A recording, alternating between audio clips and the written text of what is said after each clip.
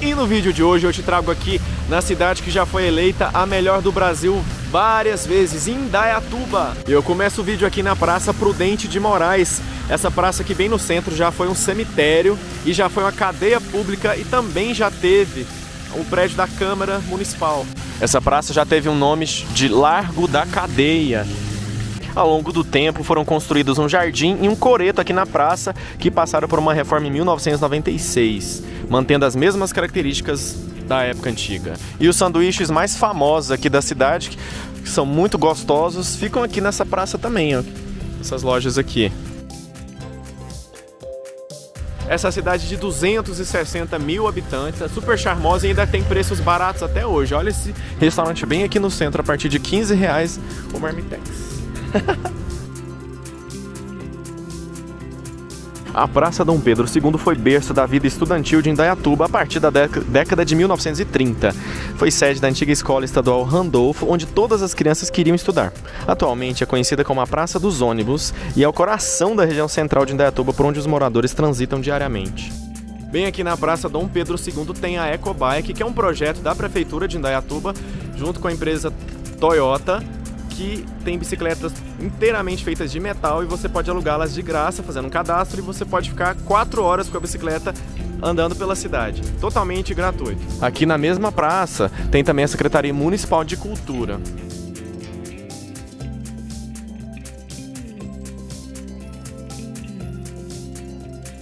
O que dá para notar aqui em Dayatuba é que as praças, os parques e os monumentos, os prédios históricos da cidade não são pichados, sabe? Muito bem conservados, pintura nova e muito bonitos, bem conservados. Ó, ao redor pra, pracinhas assim, bem cuidadas também. E agora eu tô aqui no Museu Ferroviário aqui da cidade.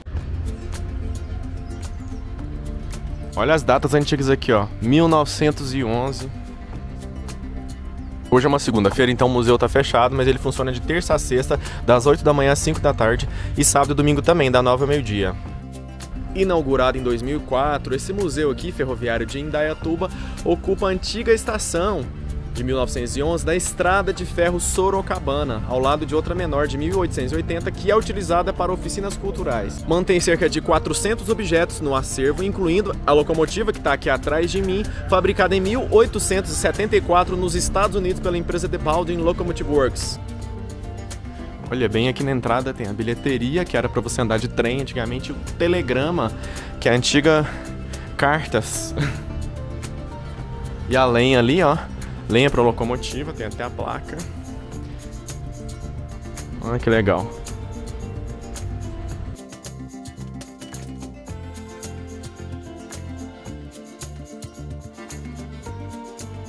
Secretaria Municipal de Cultura, Casa da Memória. Olha que bonito prédio. Agora eu tô aqui no parque mais famoso de Indaiatuba, que é o Parque Ecológico. E segundo o site oficial da prefeitura, ele corta 80% da cidade e foi inaugurado em 1992 é, pelo projeto do arquiteto e urbanista Rui Otaki. São 15 quilômetros de pistas de caminhadas, coopers e ciclovias. Abrange em sua extensão bosques, lagos, jardins, áreas de recreação, campos de futebol, vôlei, uma pista de bicicross oficial, uma pista de skate profissional, uma raia de remo olímpico, equipamentos de ginástica, uma praça de eventos, parque temático infantil e um teatro multidisciplinar. E é sede também de vários eventos esportivos e culturais, como o Carnaval de Rua e a Corrida Cidade de Indaiatuba.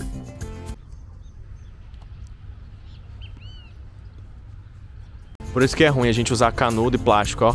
O bicho tá com canudo bem no bico, ó.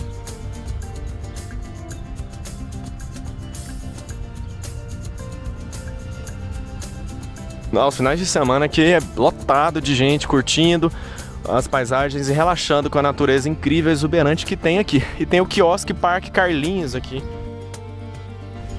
É ou não é? Eu tô achando que essa cidade realmente é uma das melhores do Brasil para viver. Pelo menos beleza, sabe? Assim, tem nas ruas, bem limpas.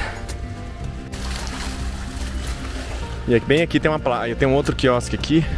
Quiosque Park, tá, esse tá fechado agora. Eu amo Indaiatuba. E é tudo de graça. Aqui mais uma brin... um lugar de muito bem conservado para as crianças brincarem, olha aí. Tudo aqui no Parque Ecológico. A Joaninha tem a girafa lá em cima tem um elefante. Olha, e agora eu tô em outra ponte aqui do Parque Ecológico, aí dá pra ter uma outra visão daqui do parque. Do lado de cá o Parque Aquático, ó, com piscina, ó, toboágua, os toboáguas aqui. Vários prédios com vista aqui pro parque, ali a piscina infantil. Tudo muito lindo.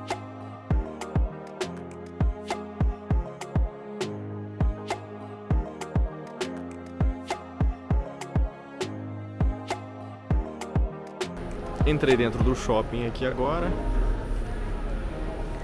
Hoje é uma segunda-feira, então não tá lotado, né? Na feira é na hora do almoço.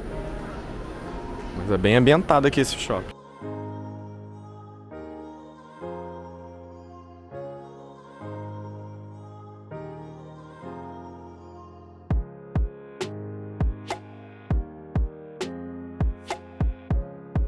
Agora eu vou entrar num shoppingzinho tradicional aqui do centro de Indaiatuba, chama Shopping Jaraguá. E esse aqui, é, apesar de ser menor do que o outro, é shopping mesmo.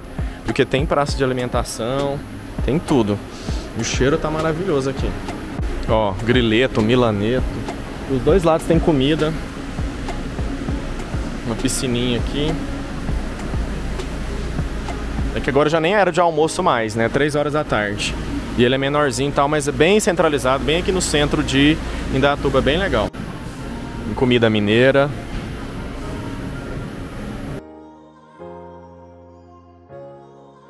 Indaiatuba já foi considerado por mais de seis vezes consecutivas o melhor município para se morar no Brasil. Indaiatuba possui grandes empresas do setor automotivo, como a Toyota do Brasil, o campo de provas da General Motors e da Honda, além de unidades fabris da John Deere, Unilever, entre outras, que geram grandes empregos, vários empregos na cidade. O Distrito Industrial de Indaiatuba foi criado em 1973 e trouxe, a partir dessa infraestrutura, uma quantidade enorme de empresas, indústrias para a região. E quem colonizou aqui inicialmente Indaiatuba foram acredite, os suíços, os portugueses, espanhóis, italianos e até os japoneses que ajudaram a criar a cultura do tomate aqui na cidade. E atualmente a principal cultura agrícola do município é a uva.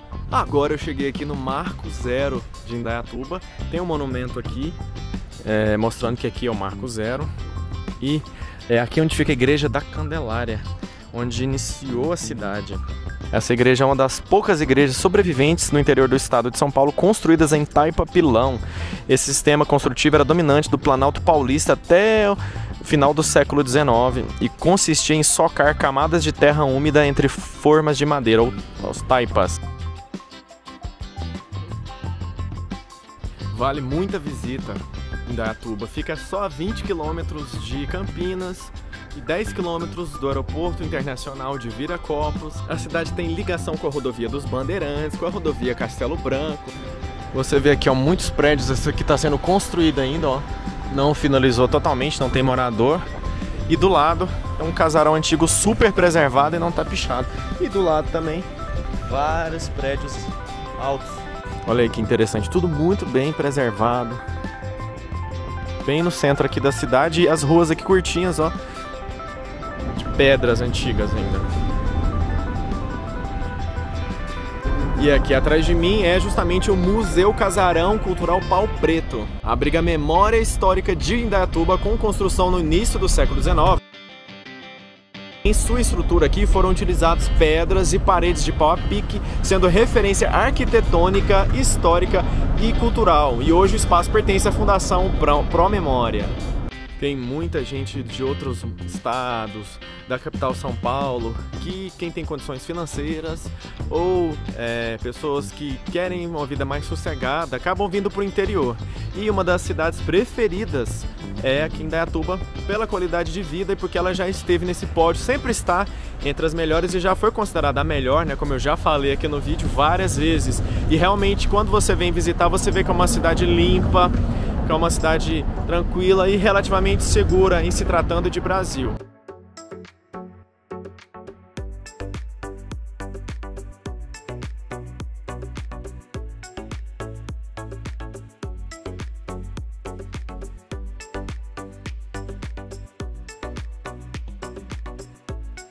Agora eu tô aqui no Parque do Mirim, que é um pouco mais distante, aqui afastado do centro. É um outro parque aqui super preservado e fora da cidade, né? Fora da zona urbana.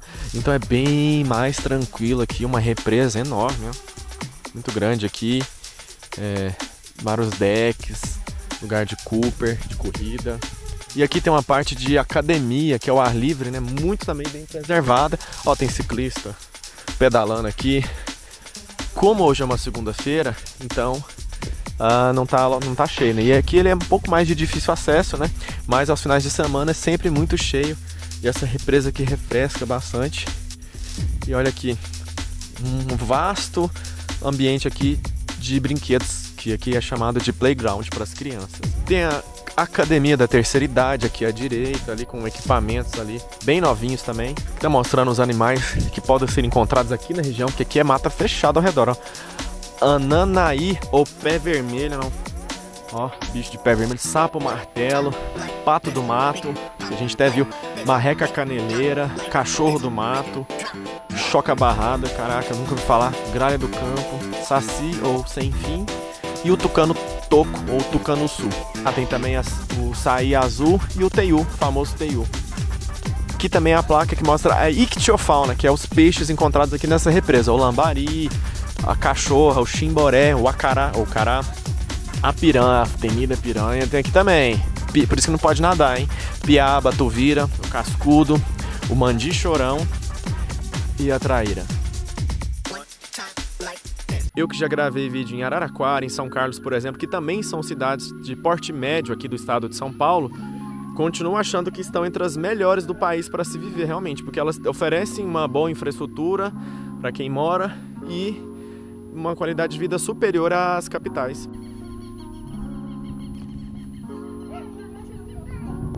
E aqui tem também uma lanchonete, um restaurante aqui do Mirim e os pedalinhos ali, os famosos pedalinhos, dá para passear aqui também. Aqui é o mapa de orientação do parque inteiro. Você está aqui no número 18. Olha o mirante, ó. É uma coisa gigante. Dá pra ver muita coisa lá de cima, mas o parque já tá quase fechando, não vai dar pra, pra ir lá. Logo depois do restaurante aqui tem quadras poliesportivas, tem aluguel de bicicleta também para você dar uma volta no parque, que são vários quilômetros. Ó, dá pra passear com a família inteira a partir de 10 reais a hora eu mostrei as principais partes, um pouco da história de Indaiatuba, mas é claro que tem muito mais coisa para mostrar.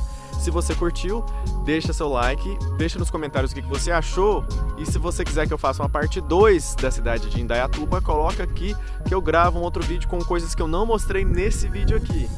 Se inscreve aí no canal, porque eu estou viajando todos os estados do Brasil e até o próximo vídeo.